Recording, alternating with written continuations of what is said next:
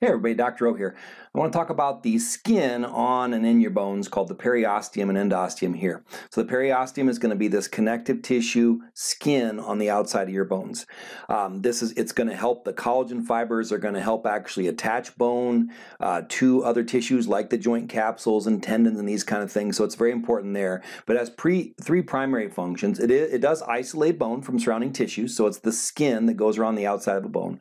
Uh, number two, it does provide a route for nerves and blood vessels. There's actually a lot of pain fibers in the periosteum, which is why like a hairline fracture where this gets torn, especially kind of jaggedly, can be so painful. Sometimes a hairline fracture can cause more pain than a than a complete compound fracture can.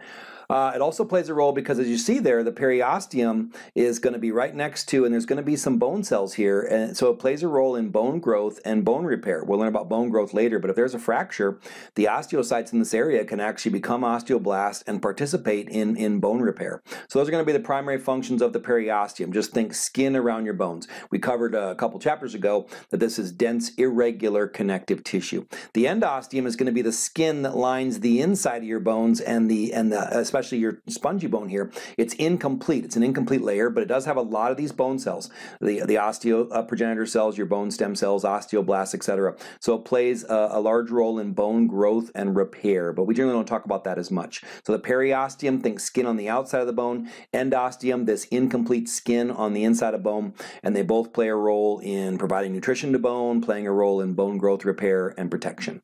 All right, I hope this helps. Have a wonderful day. Be blessed.